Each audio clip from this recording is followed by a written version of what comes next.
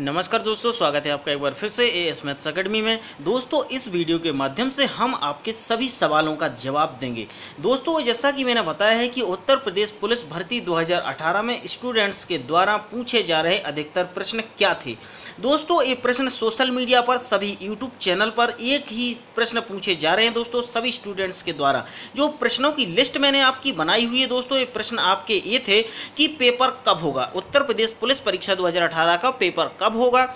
Paper कितने घंटे का होगा, कितने क्वेश्चन आएँगे, एडमिट कार्ड कब आएगा, नेगेटिव मार्किंग कितने नंबर की होगी। दोस्तों, यदि आपके इन सभी सवालों का जवाब मैंने इस वीडियो के माध्यम से दे दूँगा तो दोस्तों, वीडियो को ज़्यादा से ज़्यादा शेयर कीजिएगा और लाइक कीजिएगा और अभी सब्सक्राइब कीजिएगा। दोस्तों, आपको निश्चय मैं इस वीडियो के माध्यम से आपके सवालों का जवाब अभी दूँगा। तो दोस्तों, आपका पहला सवाल देख लेते हैं, जो पहला सवाल था कि पेपर कब होगा। तो दोस्तों, पहला सवाल, जो पेपर कब होगा, इसका आंसर ये होगा दोस्तों कि 18 और 19 जून को आपका फाइनल हो चुका है कि 18 और 19 जून को आपका एग्ज़ाम होगा ही होगा।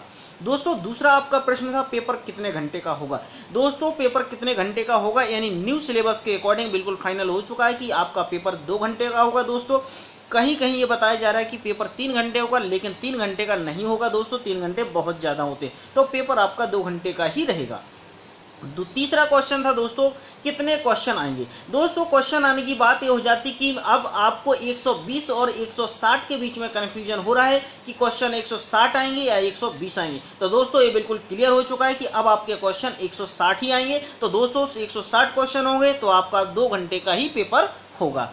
अब दोस्तों बात कर लेते हैं कि एडमिट कार्ड कब आएगा। दोस्तों एडमिट कार्ड की बात करेंगे हम तो एडमिट कार्ड के लिए भी बहुत सारे स्टूडेंट्स परेशान हैं और इसके लिए देख रहे हैं, बहुत सारे चैनल पर बताया जा रहा है कि एडमिट कार्ड कब आएगा। दोस्तों तो एडमिट कार्ड आप मान के चलिए कि आपका सेकंड जून यानी जून के सेकंड वीक में आपका एडमिट कार्ड आने वाला है तो आपका सेकंड वीक में फाइनली आपका एडमिट कार्ड आ जाएगा।